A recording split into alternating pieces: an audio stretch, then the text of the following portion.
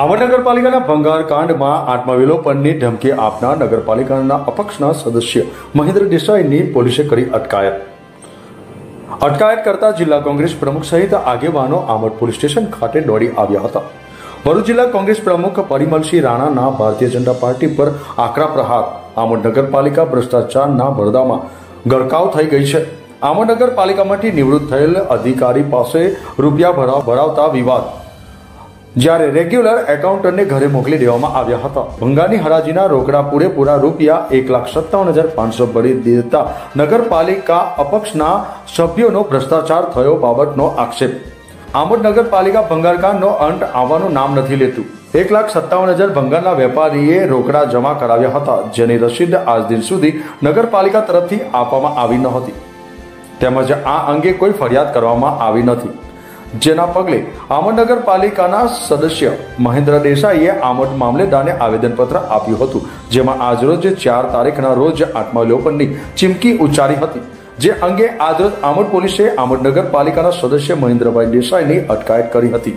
અટકાયતના પગલે આમોદમાં જિલ્લા કોંગ્રેસના પ્રમુખ રાજેન્દ્રસિંહ રાણા, પૂર્વ ધારાસભ્ય સંજય સોલંકી, ઉસ્માન મીડી સહિતના આગેવાનો આમોદ પોલીસ સ્ટેશન ખાતે દોડી આવ્યા હતા. અત્રે ઉલ્લેખનીય છે કે રાજ્યના કોંગ્રેસના આગેવાન શક્તિસિંહ ગોહિલે પણ તટસ્થ તપાસ થાય તેવી ગુજરાત સરકારને સોશિયલ મીડિયાથી રજૂઆત કરી હતી અને મહેન્દ્ર દેસાઈ આ મુદ્દે કોઈ અંતિમ પગલું ના ભરે તેવી વિનંતી કરી હતી. Javid મલિકનો report news today, Amod. Bharatiya Janata પાર્ટીનો દિલ્હીથી લઈને આમોદ સુધીનો ભ્રષ્ટાચાર ખુલ્લેઆમ આવી ગયો છે. ઓન પેપર છે.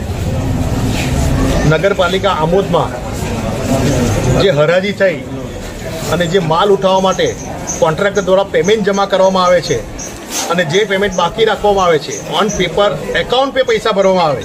અને ત્યારબાદ બીજા પૈસા દોઢ લાખ, એક લાખ પચાસ હજાર રૂપિયા જેવી રકમ ભરવામાં નથી આવતી. એ ભ્રષ્ટાચારોમાં ભારતીય જનતા પાર્ટીના આગેવાનોને સાચવવા માટે આ પૈસા રાખવામાં આવે છે. અને અમારા આ કાર્યકરો, અમારા નગરપાલિકાના ચૂંટાયેલા સભ્યો, વિરોધ પક્ષના તમામ સભ્યો ભેગા થઈ વારંવાર રજૂઆત કરે છે.